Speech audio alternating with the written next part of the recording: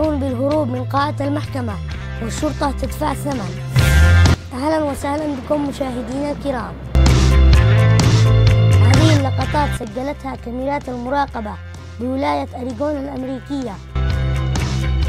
فيلا لوبوس هذا المتهم بجريمة قتل والبالغ من العمر 28 عام. ووفقا لقانون هذه الولاية يتم إزالة القيود من على يديه وقدميه. وبعد إزالة القيود من على يديه وقدمي المتهم ينطلق فيلا لوبوس بسرعة هائلة محاولا الهروب من المحكمة.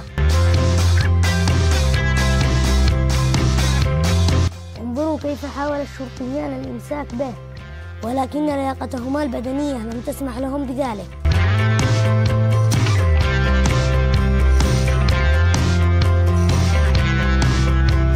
نجح المتهم بالفرار.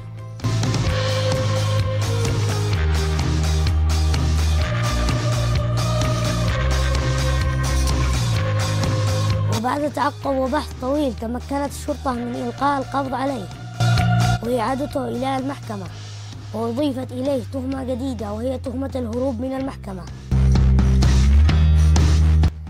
وهذا متهم آخر. هرب من المحكمة. وحاولت الشرطة الإمساك به. شاهدوا كيف قام الشرطي بقفزة انتحارية محاولا الإمساك به. لكنه وقع. وبعد ذلك تم نقل الشرطي إلى المستشفى. وتبين أنه يعاني من عدة كسور في أضلاعه